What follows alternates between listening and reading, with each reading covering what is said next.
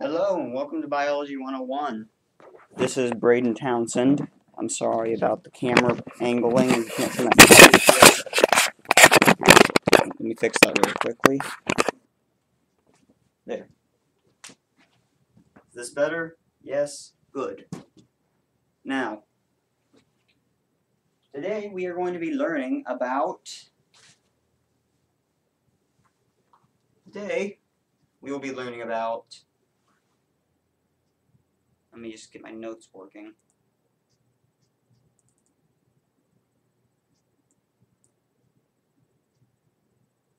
Sulfahedral groups and methyl groups. Sulfahedral.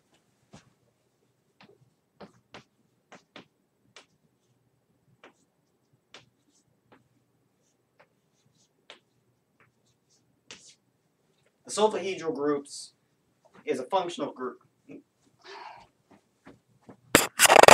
What?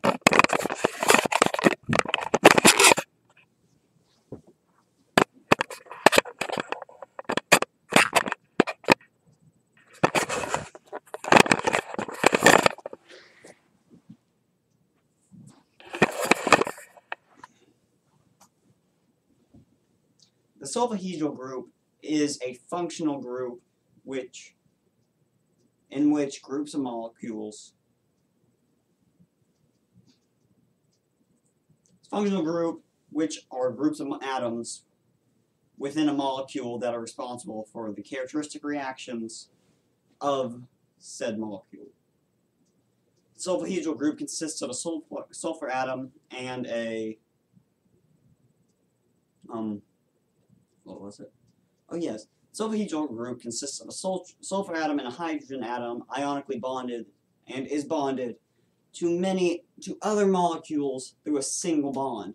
The compound name of a sulfahedral group is thiol. An example of a molecule that is a sulfahedral group is cytosine, which is comprised of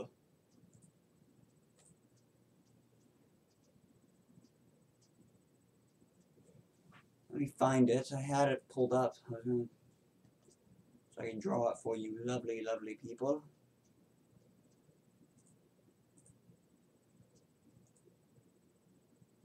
Guess I don't pulled up anymore. One second, please. Okay, we're back.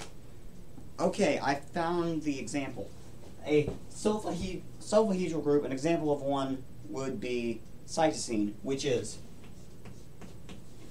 hydrogen and oxygen connecting to a carbon group which bonds to an another bonds to another oxygen hydrogen which connects to a, another carbon carbon hydrogen. Carbon in the middle connects to a nitrogen group which connects to two which connects to two hydrogen groups and the carbon carbon here connects to a hydrogen group, which can and it also connects to a oxygen hydrogen. Sulfahedral groups. Very, very, very important. These are the groups that make certain thing things such as now, the sulfahedral group consists of a sulfur atom and a hydrogen atom ionically bonded and is bonded to other molecules through a single bond. The compound name of a sulfahedral group is thiol. An example of a molecule that is a sulfahedral group is cytosine, which is comprised of three carbon atoms, two oxygen atoms, three carbon atoms, two oxygen atoms, and six hydrogen atoms or sorry, not two oxygen atoms, three oxygen atoms, one nitrogen, and one sulfur, which is around here somewhere. The sulfahedral group influences whatever molecule it is bonded it's bonded to by enabling the molecule to become more reactive, especially with oxygen as the molecule is easily oxidized. Now I have a question for you to answer. What's the compound name of a sulfahedral group?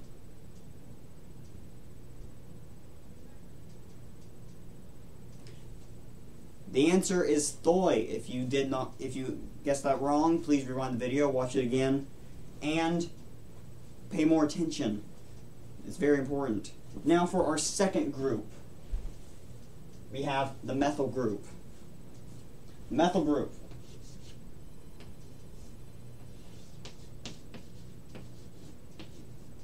The methyl group is a functional group comprised of a carbon atom ionically bonded to three hydrogen atoms. And this functional group is bonded to other molecules through a single bond.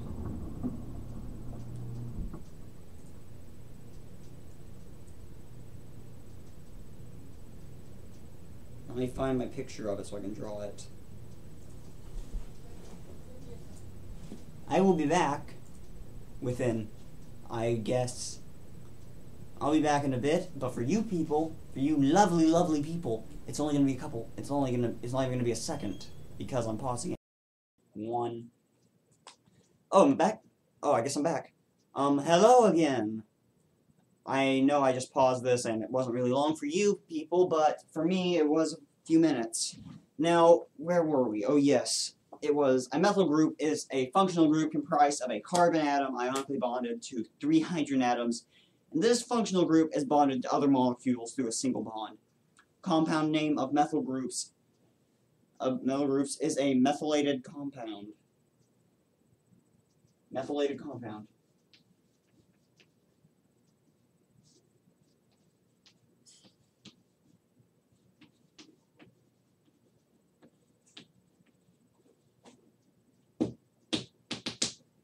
Now, a methylated compound can't... an example of a methylated compound is 5-methylcytosine, which is comprised of 5 carbon atoms, 7 hydrogen atoms, which I'm not thinking that's right. My script is wrong. This is a this is 5-methylcytosine. It's H 3 C connected to a pentagon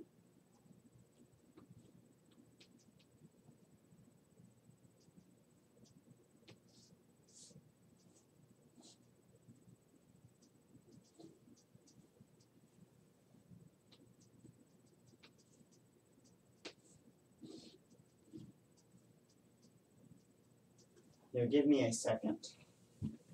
5-methylcytosine is H is hydrogen 3 carbon, or H3C, connected to a pentagon that has an ionic bond right here. Now, and the, which is not a pentagon, I'm sorry, it's a hexagon. I'm sorry, I'm, it's late, I'm kind of out of it, but let me continue. It's connected to a pentagon, which has a nitrogen right here, has a nitrogen hydrogen, which and here it ionically bonds to an oxygen. Here it goes a nitrogen with an ionic bond, and finally an NH2 up here.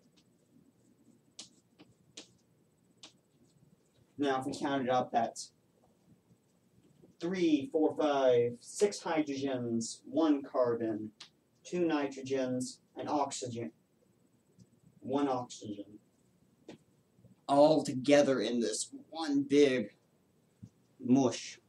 The methyl group, and this doesn't look like much to you, but this is very important. The methyl group within a molecule influences that molecule by making the molecule nonpolar and thus hydrophobic, so it doesn't readily bond or react with mo water molecules. Now I have one last question for you. Actually, first, I'm going to give you an example of what a methyl group is used for. I will be right back. And also, I will also give you an example of what a sulfahedral group is used for. Hello, I'm back. I'm sorry about that. I'm having to go to my notes a lot because a lot of my stuff is not right. Um, now, an example of a methyl, of something that methylated, that a methylated compound, or 5-methylcytosine would be used for. 5-methylcytosine is used for in DNA as a way to silence foreign DNA types. Like, say, your DNA, a bacteria was trying to bond with a virus, was trying to inject its DNA into a cell. 5-methylcytosine could be used to silence a foreign DNA. But usually that will not happen because the viruses must have something that can stop that. Um, sulfhydryl, sulfhydryl, sulfhydryl thionyl is found in things such as onions and skunk spray.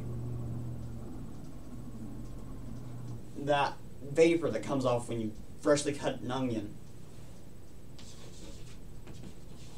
That is thionyl. The smell, the skunk spray odor, that's thionyl.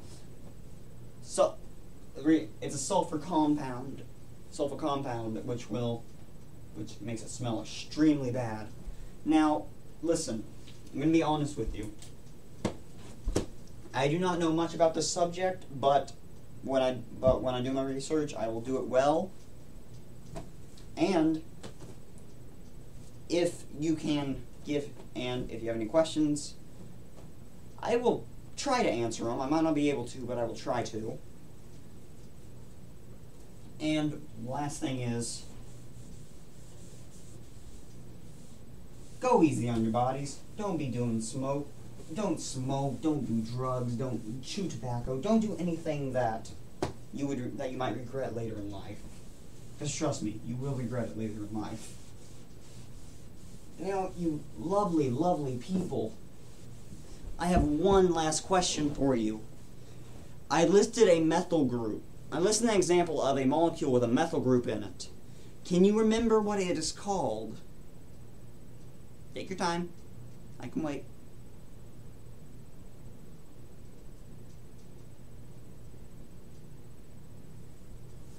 I can wait. Yep. I can wait.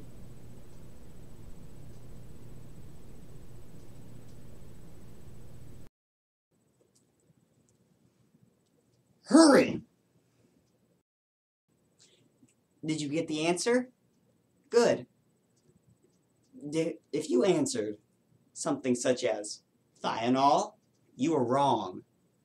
However, if you answered something such as However, if you answered something such as glucose, you are also wrong. But, in retrospect, you probably thought you were right, and I'm sorry if I'm being mean about this, but it's late, I'm tired, and I'm probably sure that you all can kind of understand how I'm feeling. I'm recording this at 8.12 right now. But, um, what was it again? Oh, yes. The answer to the question is 5-methylcytosine. Now, I'm going to be honest with all of you. This was this is very fun doing. I'm going to be editing this very, very early during class. So,